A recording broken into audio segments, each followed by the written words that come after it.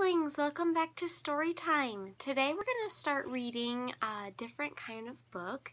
Um, it's based off of um, kind of like scientific things in nature.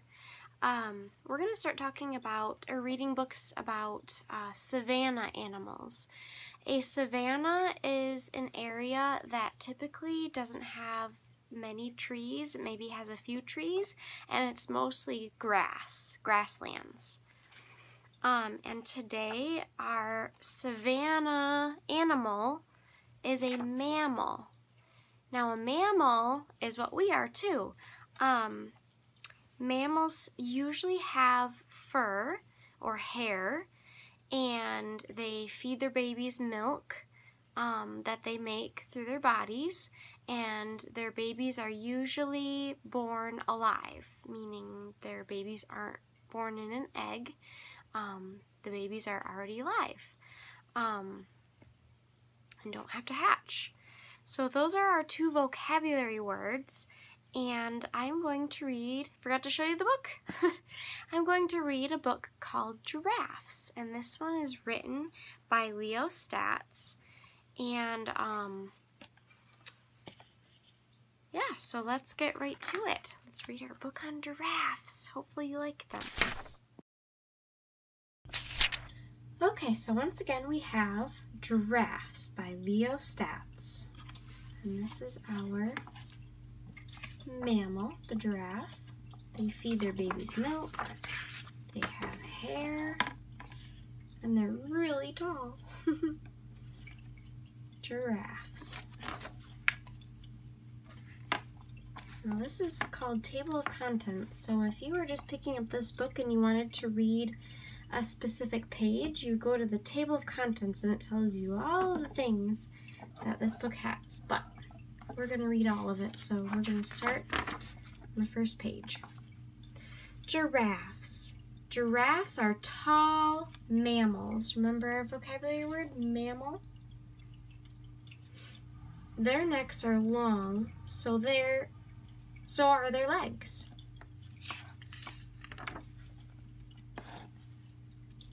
Giraffes walk slowly, but they run fast. A giraffe can run up to 35 miles per hour. That's 50, 56 kilometers per hour. It's pretty incredible. It's a little faster than a, your car would go through um, your neighborhood, usually. Their body. Giraffes have large eyes and ears. They have two short knobs on their heads. See the knobs? There are their eyes again, and ears, and their neck.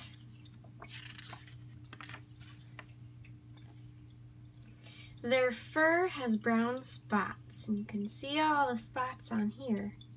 Look how different they are from each other. This one's a bit darker, it's a bit lighter. These two are kind of similar though. Except this one has some like reddish, orangish spots on it. Tan or white lines separate the spots. Each giraffe has a different pattern, kind of like our fingerprints. All of us, we all have fingerprints, but each one is unique, meaning they're all different. So each giraffe has their own pattern. Habitat, Th that means um, where they live. So giraffes live in Africa. Africa is here on a map. They don't have North America where I live over here, but this is Africa. Giraffes live in Africa.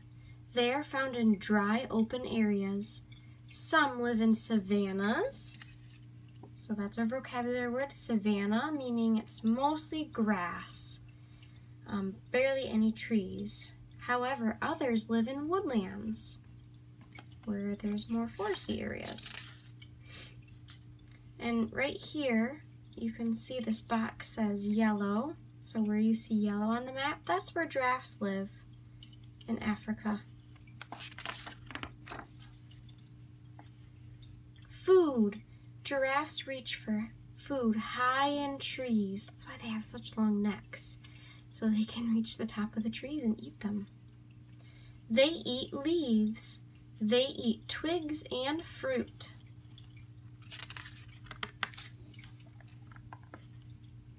Giraffes have long tongues. Their tongues are strong. The tongues can grab and hold objects. Look at that long tongue. Look here. It's kind of like a bluish purplish tongue. The life cycle. Giraffes live in herds. A baby giraffe is called a calf. Giraffes live on their own. After one or two years, they can live up to 25 years. I am 27 years old, so they live just a little under how old I am. Average height. A giraffe is taller than a basketball hoop. 10 feet is a basketball hoop but giraffes are about 16 and a half feet long. That's so tall. Average weight. A giraffe is heavier than two soda vending machines. Two soda vending machines are 2,200 pounds, but a giraffe weighs 2,275 pounds. Holy smokes. It's incredible. And that is the end of our books about giraffes. Well, hey halflings, thank you so much for joining me for story time today to learn about our giraffes. Remember, they're mammals who live in the savannah. Remember, mammals are animals that um, usually have fur or hair. We are mammals. Um, their babies are born alive and they feed their babies milk that they make with their bodies. And remember our savanna is our habitat, a place where you can live, and it is a place that is mostly grassland. Um, there's very few trees. There are some trees, but very few. So yeah, once again, thank you for joining me. Check out the comment section for a related activity and uh, that'll be uploaded in the near future.